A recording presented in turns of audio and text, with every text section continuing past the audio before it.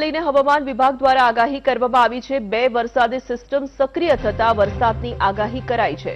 સોળ સપ્ટેમ્બર બાદ વરસાદનું જોર વધી શકે છે. લો પ્રેશરના કારણે વરસાદનું જોર વધી શકે છે. ચૌદથી પંદર સપ્ટેમ્બર સૌરાષ્ટ્ર અને દક્ષિણ ગુજરાતમાં વરસાદની શક્યતાઓ છે. ત્યારે વેરાવળ, ભાવનગર, અમરેલી અને પોરબંદરમાં પણ વરસાદ વરસી શકે છે.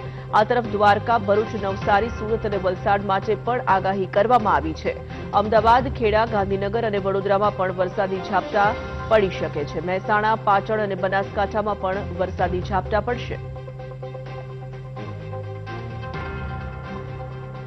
રાજ્યમાં ફરી એક વખત મેઘરાજા ગમડોળશે તેવી આગાહી હવામાન વિભાગ તરફથી આપવામાં આવી છે. ત્યારે સ્કાય દ્વારા પણ એક વખત સમજવાનો પ્રયાસ કરીશું. અત્યારે રાજ્યમાં ફરી વરસાદી માહોલ જામેલો છે. સરેરાશ એકસો બાવીસ વરસાદ નોંધાયેલો છે.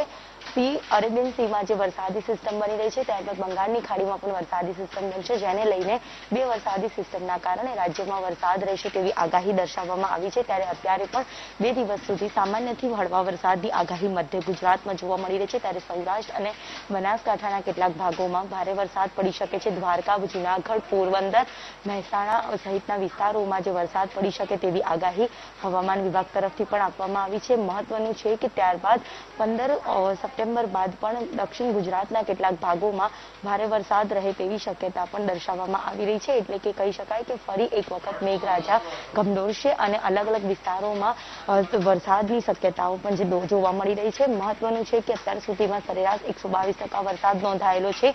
ત્યારે ફરી એક વખત બે વરસાદી સિસ્ટમના કારણે રાજ્યમાં ફરી મેઘમહેર જોવા મળી શકે છે. કેમેરામેન અજય પટેલ સાથે દિવ્યા ચૌહાણ, વીટીવી ન્યૂઝ, અમદાવાદ.